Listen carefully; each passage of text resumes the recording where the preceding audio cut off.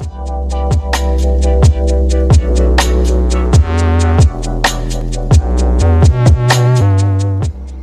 guys, Matt here with the fish tank again, and I wanted to show you guys an idea that I'm working on to get a uh, Daphnia breeding tank.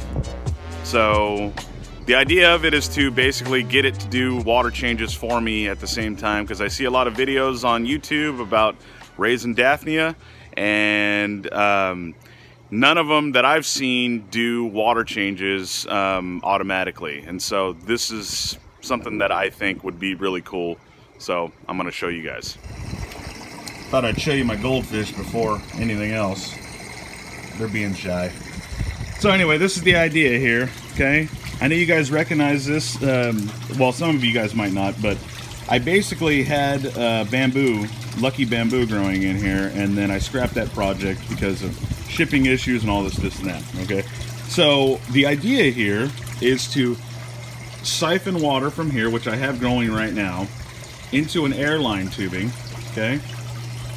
Then having this slowly fill up, okay? And then overflowing into a pipe that I can put there and bring the water level up, okay? And the way I would adjust that is by having, see that airline thing there? The airline adjustment knob or whatever? Um, I'd be able to adjust the flow and the reason why that's important is because um, I don't want the water rushing down this drain pipe. The reason why is because Daphnia will get caught and they'll go down the pipe. So if I can adjust it to where it's slowly doing these water changes, because this is con considered basically a water change. It's constantly moving all that nasty water out and into my grow beds where I have all this grow media. Okay, that's where my biological uh, filtration is and and it acts as mechanical filtration as well. So all this water will be flushed out, um, and I can kind of estimate how long it would take. But basically, the water would always be fresh inside here, and it would constantly be dripping out here and into the sump tank. So that's kind of the idea. Um, if I need to, I can put some nylon over the top, which I probably will do anyway, put nylon over the top of this pipe and then see if any Daphnia kind of build up on the nylon. If they do, then I know the flow is too high.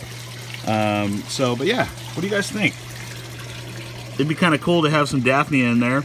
And uh, I can use that to feed guppy fry or um, if my goldfish ever breed or my koi ever breed, I'll have a, a little food supply for them. Um, I can also ship out Daphnia if I grow enough of them. So, but yeah, what do you guys think? Let me know in the comment section below.